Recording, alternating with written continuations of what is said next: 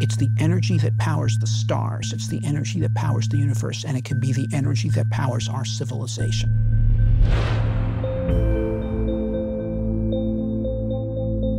Imagine a source of energy that doesn't produce any carbon emissions or any substantial amount of radioactive waste and is unlimited in its availability, allowing billions of people to have decent standard of living now and forever in the future. There is such a source of energy, and that is fusion energy.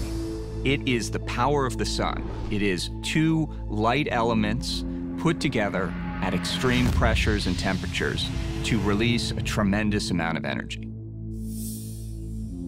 I like to think or dream of the impact of fusion not at a global scale, but at a personal scale. It means that there's never a person who's born whose full potential cannot be unlocked because they're blocked access to energy. The history of economic growth is really a history about getting more and more energy out of our environment, out of our our lives. As we start to add more and more into our our energy system, you see economic growth take off. What that means is that there is more availability for everybody. Life gets better. Lifespans get longer.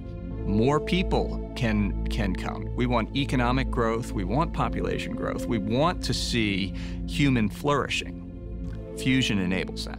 With fusion power, it becomes clear that there are no limits that there's infinite energy, that in fact the source of energy is human creativity itself. When we think about energy, we think about gas, oil, coal, other things pulled from the ground. And when we look around the world, we see conflicts about where this energy comes from. And when we move into a world of fusion energy, it means that energy becomes divorced from that geopolitics and is no longer something that we have to fight for.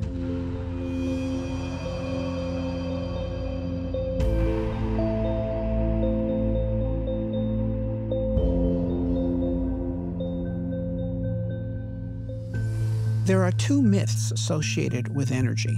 One is that we're running out of energy, and the other is that the more people that there are and the more that they do, the faster we will run out of energy. Both of these are wrong. The fact is, the way the universe is constructed, uh, it, it will take multiple billions of years to actually run out of energy. Our sun has been working for billions of years and will continue to work for billions of years. Why? Like, where's the thing that keeps the sun glowing? It's actually in the power of the nucleus.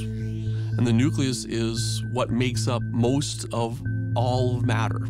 The sun unlocks that energy, and that's actually why it runs. It unlocks fusion. All the sources of energy that we've used before, before the nuclear age in any case, whether we're talking about burning wood or burning fossil fuels, have been involved with rearranging the electrons of atoms. And that can release some energy but millions of times more energy can be obtained by rearranging the nuclei of atoms, where we tap the nuclear force. When we're talking about the energy within the nucleus, what we're talking about is fusion.